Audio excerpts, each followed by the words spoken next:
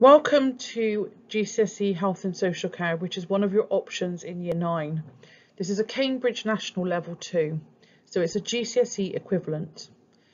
There is a new specification launching in September 22, which reduces the amount of assessment, which is a fantastic thing moving forward.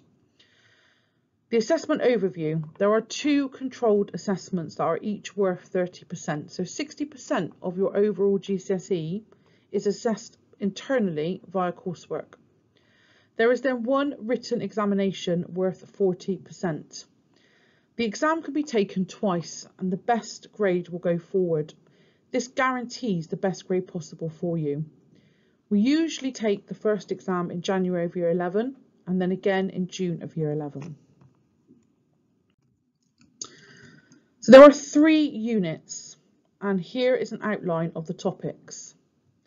The RO32 unit is the external examination unit and we look at principles of care in health and social care settings.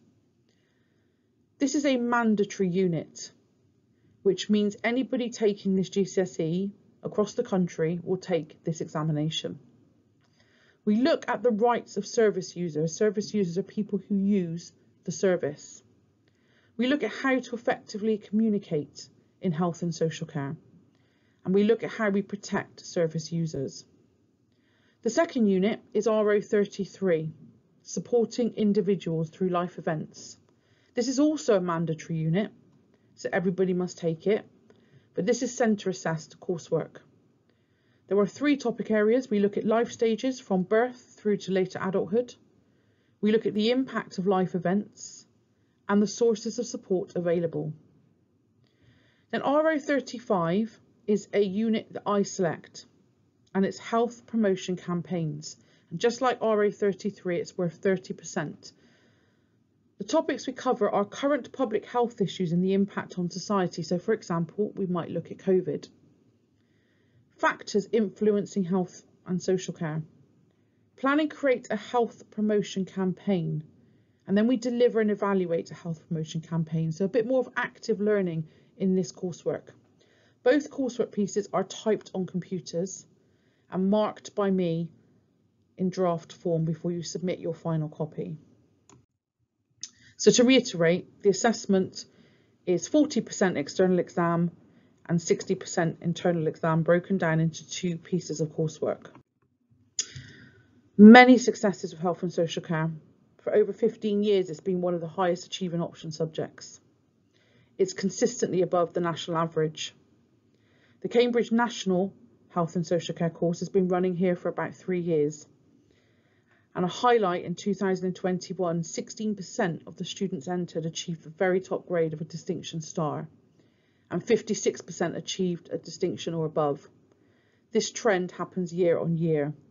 It's a very popular option subject and provides an alternative experience of learning through internally assessed coursework and it prepares you well for work within the health and social care sectors. There are many career opportunities from health and social care. At post 16, you could go on to do level three health and social care, A levels and sciences, or apprenticeships in early years or health and social care jobs. Many students do health and social care alongside the sciences because they really feel that they both will help them in careers in medical degrees, nursing degrees, physiotherapy, psychology, dentistry. There are a whole host of university degrees that stem from taking health and social care. Many career opportunities from midwif midwifery, paediatric nurse or doctor, psychologist, early years practitioner, a doctor, social worker, pharmacist, dentist, nurse, physiotherapist, amongst many more.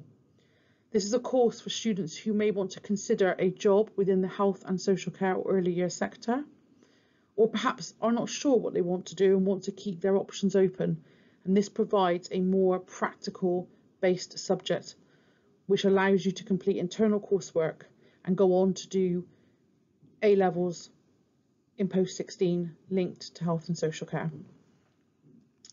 If you have any questions, feel free to come and see me. I'm Miss Edmonds and I'm based in 2EO1. You can come and take a look at our textbooks and our work and I will always happily answer any questions on email as well. Thank you very much.